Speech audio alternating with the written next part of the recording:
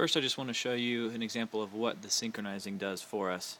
Um, this is the opener of our Mother's Day service where we have a countdown that goes last 30 seconds and then it goes straight into a video. And then I'll show you the setup and how I did all of this stuff. So uh, here we are in our pre-service setting. There normally would be video loops running right now, but this is a Tuesday afternoon and so I'm going to just run through it as it is.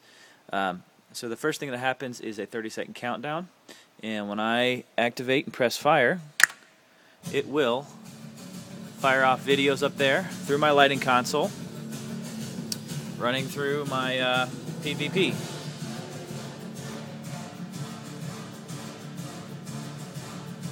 And then when that gets all the way finished, it is synchronizing itself with my lighting event happening right now. So that cat's down. And in six seconds, the light should go out. That's the idea. And I'm completely hands off on this.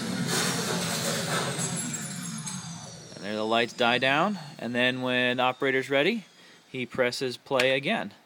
And it opens up the next video, which is our motherhood video that we got. I think that's from the North Point crew. Um, so that's basically what that synchronized for everybody. Now, it could take two or three people to pull that off, but it's a whole lot easier um, with one person doing it. Now, in the context of a worship song, then if I go over to one of our worship cues, that fires off a background there.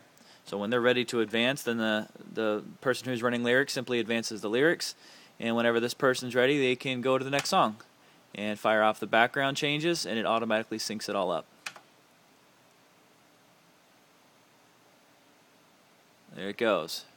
Right now I'm running um, TripleHead2Go, but I'm running them just as um, duplicated screens. They're they're uh, tiled, not stretched across it. Um, so that's how we synchronize stuff here. Now um, I'll uh, cut another video here in a moment and show you what the settings are on each of them.